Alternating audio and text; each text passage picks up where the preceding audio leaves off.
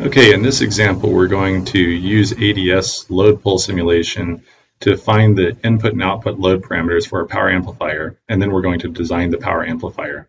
So from ADS, you can go to open up a schematic. We'll just open up a generic schematic for the time being.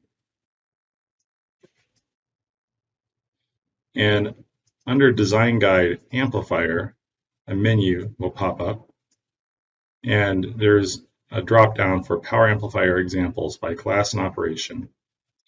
Let's look at a class B load pull. So we're going to double click this and open it. And when we do, a couple of windows are going to open, a plotting window and a schematic window. Now, inside of this power amplifier object, we can push into it using the green arrow here. And in the default schematic, a default model transistor from the from the uh, ADS uh, kit will be uh, used. If you have other modeled transistors, you can replace the modeled transistor with those with with the particular model you're looking for. So, for instance, here I have some Cree GaN transistors that I'm going to look at. These are 50 volt uh, GaN transistors. And so I've replaced the default transistor with this Cree transistor, and now I'm going to go back up to the top level schematic. Now we're doing a power amplifier design at 850 megahertz. We know that the transistor has a gate bias that will be a negative voltage to control the HEMT. And we know that the drain voltage should be 50 volts. So I'm going to make the change to 50 volts for that bias voltage. And then for the time being, we can leave everything else the same. All right, so to run this simulation now, we just click the gear wheel here. It will run the simulation. And now we can look at the results.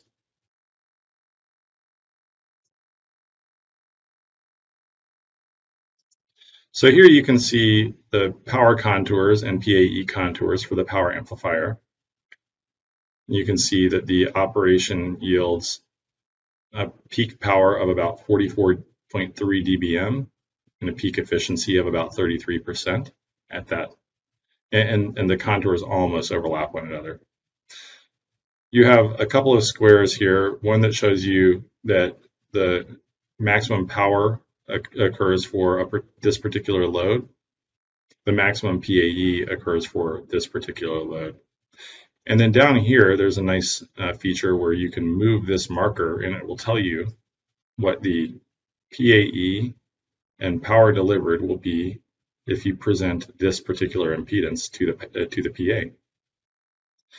So what we're going to try and do is present the impedance closest to the maximum power, which occurs at this particular marker spot.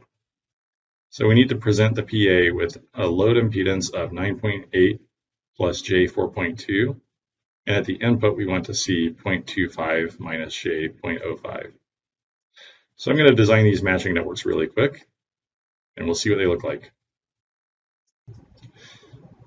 Okay, so using Will Kelsey's online Smith chart tool, which you can find by doing a little bit of Googling. I've decided to de design uh, two shunt stub matching networks, and I'm doing short-circuited stubs so that I can pass DC through the transmission line. Here I've started at 50 ohms, at, and I need to achieve a fairly low source impedance. And I've designed the network in order to get me uh, to the desired impedance you recall that the desired impedance was something like 0.25 minus J.005, something along those lines. We're pretty close here uh, to that impedance. Similarly, the output, we had a goal that was something like 9.8 plus J4.2. Uh, we're using a similar matching network, just a short-circuited stub matching network. We've calculated the links in order to get the desired impedance, and if we look at the result, we see 9.8 plus J 4.2, which is pretty close to what we were looking for. So now we're going to make a power amplifier schematic that incorporates these matching networks into the schematic. Here I'm starting with that blank schematic that we had opened up just a little while ago, and I'm going to add my power transistor into the mix here.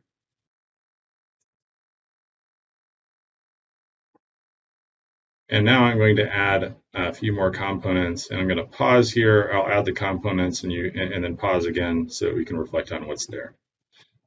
Okay, so here I've added my transmission line matching networks. You can see this the the stub and the short length of transmission line at the input and at the output.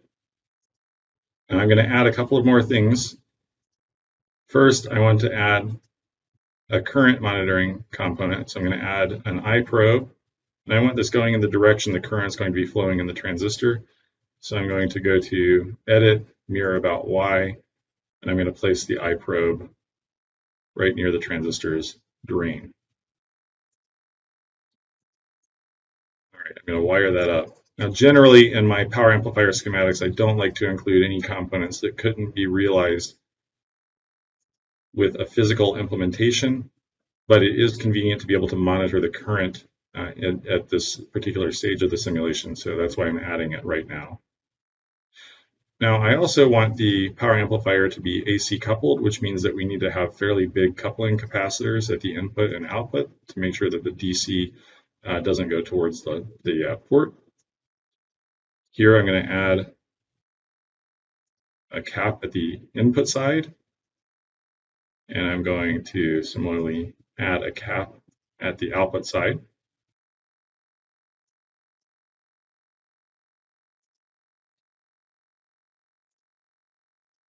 wire those in.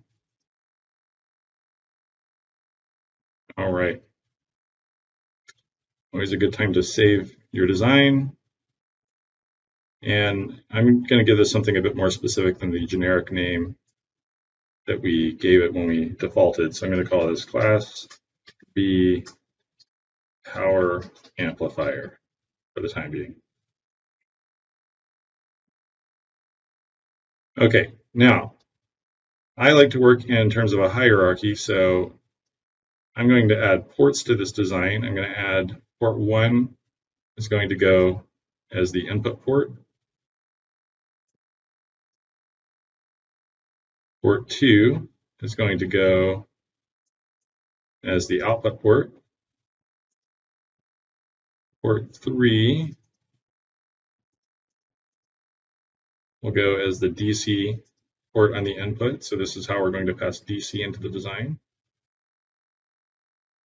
And finally, port 4 is going to go as the DC at the output side of the design. Let's wire those in.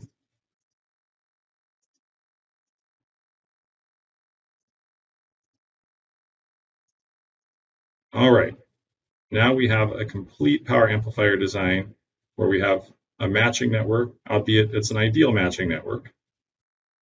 And we have input and output ports for the DC and RF components, and we have a port, in or, uh, a probe in order to measure the current flowing through the drain. Now we're going to turn this into a component that we can instantiate in upper level schematics, such as testbed schematics.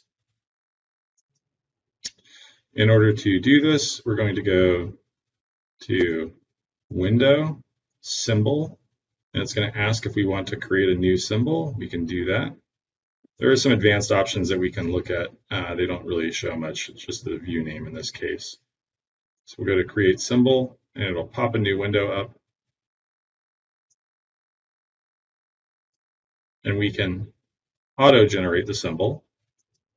We can do this as a dual symbol where the ports are all on one side or the other side, and they have some different numbering schemes that we can use.